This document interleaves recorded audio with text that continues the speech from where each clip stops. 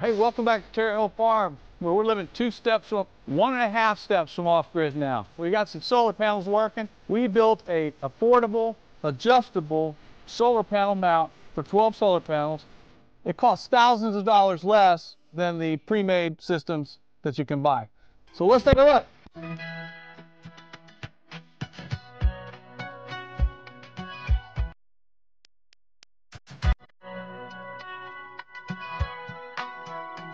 We have purchased a pallet of panels for new solar panels to produce power, and we've managed to get uh, a dozen of them up so far. They're doing miraculously well. These are uh, the SEG 405 watt bifacial panels that supposedly do up to 550, 75 watts, something like that. I've been able to get about 440, 450 out of them so far. Tops, pretty good. I'm, ha I'm happy with the panels. The price was right. And uh, they all came unbroken. So right now, that's the sound of free electricity. Well, it's not really free, but anyway, we're doing 3.8 kilowatts of uh, power through those 12 panels. Uh, it's it's got up to about 42, 4300 at, at a peak, but uh, you know, for December, that's not bad. And uh, still running with five of the LifePowers.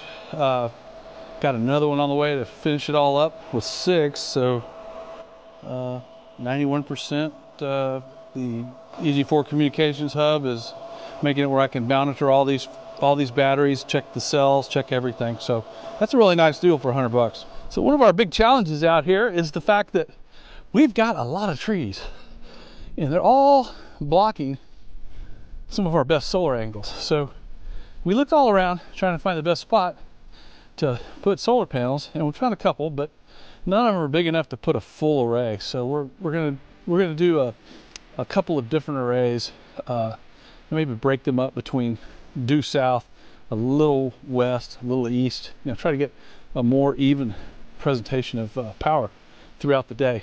So we took the first 12 panels and we found a spot right here. And this is the array we built for these panels. And this was a kind of a experiment in progress we were able to get these panels up and running. And like I said, they're doing pretty good. Uh, I'm pretty happy with the power for being uh, in middle of December. We're getting probably 80 to 85% power. The way we mounted these basically was we just took these six by six heavy timbers and sunk them into the ground about five feet with concrete and then came back around with the unistrut and we used the uh, 12 and 14 gauge unistrut in different different method and uh, we're able to mount the panels. The the uh, panels, three of the panels are a little bit more than 10 feet, so we just spliced on the end there, as you can see. So far, so good. I, you know, I there's a few things I'd like to do to to strengthen this thing up for a tornado. And I've got some work left on my wiring, obviously, but you know, having an adjustable rack with 12 panels uh, like this is, is ideal for for us. We've got those at a pretty much due south angle. We're going to probably go with a, a, couple of different types of arrays. I ordered some of the bright mounts from uh, Signature Solar. We'll try some of those out, see how those work with the, the four panel mounts. I've got a uh, pole mount for a six panel uh, array that I'm going to try out. So, you know, I'm just trying to figure out which mounting system is the most efficient for a small amount of panels. I just don't think I have the room to get 40 feet long straight array up. We'll see how these work, pulling all these into a combiner box and then running these back to the, to the house. I've got a total of about 12,000 or so watts of uh, panels. So that should be sufficient for what our use is. We don't use that much, but we'd like to add on some more. We're using the solar as much as we can right now and the grid for a backup. We're running our hydroponics growing in, inside off of them. We run the whole house off of them. The well's not running off of right now, so we've got to hook that up. We've got a couple other things that we're doing, but when you live on a property that's got improvements scattered around a lot of area, it's a little bit more of a challenge to get them all hooked up to uh, off-grid solar system. We're working at it, and so far, so good.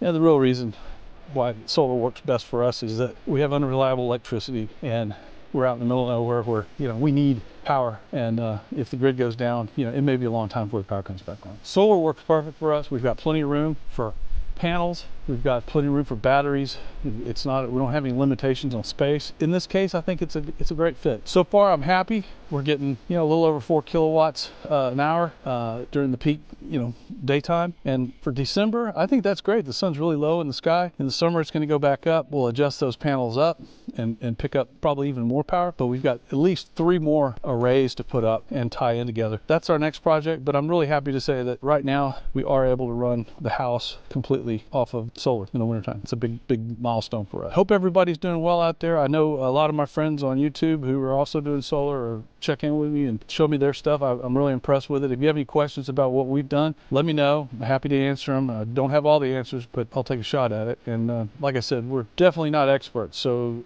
if we can do this, then DIY solar is an option for you. Hey, if you like solar stuff and you're interested in what we're doing out here on the farm, please take a moment and hit that like button and subscribe. We're trying to build this channel up with lots of interesting stuff that we're doing out here. And we appreciate you coming back to see us every time we post a video. From Cherry Hill Farm, thank you. I'm Michael. We're living two steps off grid, trying to make it one or less. Talk to you soon. Thanks.